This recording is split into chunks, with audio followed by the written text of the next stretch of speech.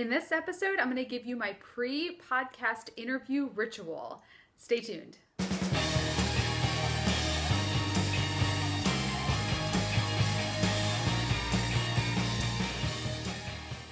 Hey everyone, thanks for joining me for today's episode of Interview Connections TV, where we help you rock the podcast from both sides of the mic. In the last episode that I attempted to film from home, it was a colossal disaster and it turned into a big video of bloopers explaining why I don't work from home anymore. So today I am filming this episode while Nathan is upstairs napping and Lucy is very calm, um, I think about to fall asleep here in my arms. In today's episode, I'm going to give you my pre interview ritual, the few steps that I take before the interview starts to ensure a successful recording.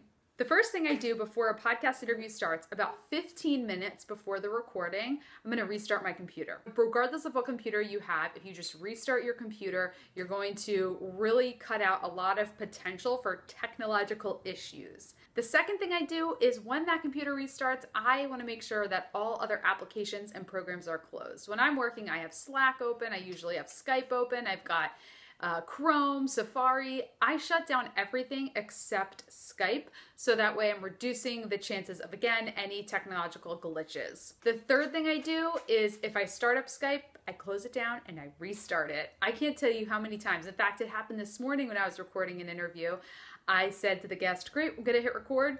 I hit record, I have Ecamm call recorder, and it just doesn't start recording. It just doesn't work. So I had to close Skype, just restart Skype and call him back. And then when you do all that, if you have an extra five minutes, run to the bathroom. I know it's silly. It's like kindergarten. Everyone go to the bathroom before we go on the field trip. But seriously, um, you want to make sure that you're going to be there comfortable. If it's a 30 minute interview, hour, sometimes I did an hour and a half interview last week.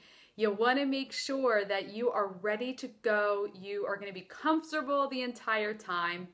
Have a glass of water there with you make sure that on your desk you've got a you know a soft coaster or a towel something that way when you put your glass down after taking a drink it's not causing a bump on the recording. Know where all your buttons are. Mute your microphone so you don't cough into the interview. These are all really little things but if you um, take these steps you're gonna have a much higher quality podcast than if you don't those are my tips for your successful podcast interview. Restart your computer, restart Skype, go to the bathroom, make sure you have some water, mute your microphone when you're going to cough or clear your throat or anything like that.